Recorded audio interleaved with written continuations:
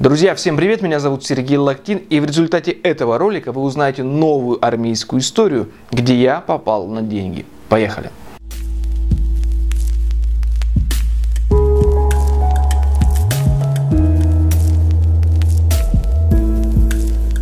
11 февраля 2016 года я был переведен из города Хабаровск в еврейскую автономную область село Бабстово. И удивляло меня там абсолютно все. И эта история будет про следующее мое удивление. После того, как подразделение прибывает в столовую на прием пищи и находясь перед столовой ждет своей очереди, происходит следующее.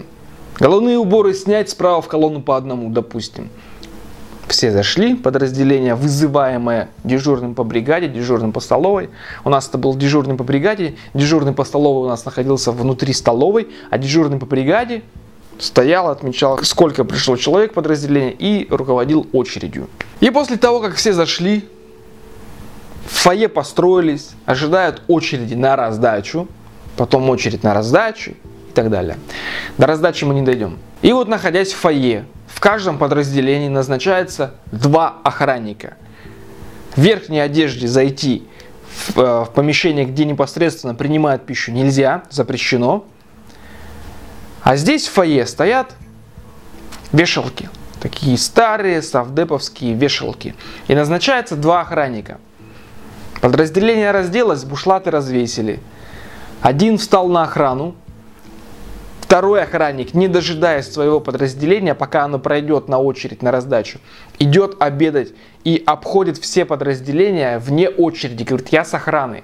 Для того, чтобы быстрее поесть и поменять того, который сейчас стоит на охране. А тот уже, соответственно, успеет и поест с подразделением, и все свободно пойдут выполнять свои боевые задачи. И вот когда мы только прибыли с чуваком вдвоем из города Екатеринбург, даже не из самого ЕКБ, а город Туринск, Свердловская область. Мы с ним остались на охране. И произошла следующая ситуация. Я остался на охране стоять первый. У нас было 8 бушлатов. Я остался стоять первый. Подразделения, оставшиеся 6 человек, ушли и встали в очередь на раздачу. А чувак из города Туринск, Свердловской области – обошел все подразделения и пошел кушать. Поел, поменял меня. И в момент моей смены, когда он меня меняет, я говорю, смотри, было 8 и висит 8, и сдаю я тебе 8. Мы с ним посчитали 8. Я ухожу есть, присоединяюсь к своему подразделению. Мы с копом все пообедав, это было на обеде, выходим в фойе, чтобы одеться и построиться у столовой и убыть в расположение роты – не обнаруживаем одного бушлата. Нету. Выходит чувак с нашей роты и бушлата нет. Постояли, башку почесали, а что ты сделаешь? Там стоит несколько вешалок. 5, 7, 8, на каждой там э, вешалке там по 30 крючков, допустим, по 50. Это была первая история. Чувак, у которого бушлата не оказалось, ушел в подразделение по форме одежды номер 4, но не по полной, без головного убора, потому что головной убор у него остался в рукаве, а бушлат, как известно, у него угнали. А форма одежды номер 4 это штаны, берцы и кители. Мы пришли в подразделение, и что делать? Подходим к ротному, он говорит, а что? Говорит, рожайте. И на тот момент, на первый раз, я пошел ему навстречу, вот этому чуваку, который бушлат потерял. Мы с ним скинулись в складчину. То есть бушлат стоил порядка двух тысяч. Мы вот по рублю скинулись по тысяче рублей по косарю. Я тысячу, и он тысячу. Хотя я бушлат этот не терял. Проходит еще несколько недель, а может быть и дней. Та же самая ситуация. Опять пара охранников, он и я. Та же самая ситуация, только не один бушлат, а три. Три бушлата. Начали заморачиваться по поводу бушлатов. Нам зарядили пятерку денег. И тогда уже между нами состоялся разговор, в ходе которого мы пришли к тому, что я не буду вкидывать свои деньги – он может еще не один десяток бушлатов потерять. Почему я должен платить? Если я ему сдаю ровное количество бушлатов, а потом прихожу и количество бушлатов уменьшается, чья вина? Конечно его. Он во флит, он стоит, клювом щелкает. А происходит следующее. Люди вычисляют лоха, более-менее такого дружественного, втираются к нему в атмосферу.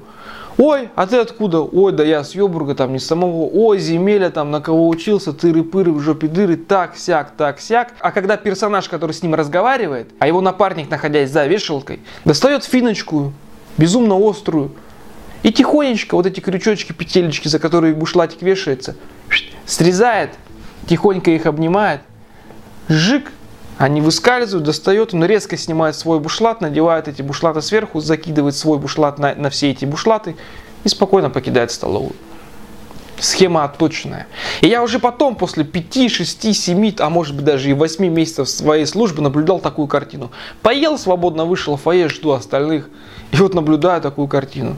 Вот они там лоху по ушам ездят. Ой, да там, братан, ты там учился на инженера, там, ой, я тоже там. Какими программами пользовался, автокад, там, не знаю, компас и так далее. О, 1С там, знаешь, не знаешь. А второй чик, режет. А потом пацаны выходят, и бушлатов нет. И лоха наматываются.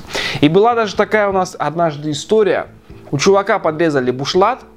У чувака. Он сам его потерял. А куда ты пойдешь искать бушлат? Не к старшинам же пойдешь. Соответственно, среди пацанов шугаешь, шугаешь, вот там через 2-3 часа приходит там ответка, допустим, вот полтора косаря надо зарядить.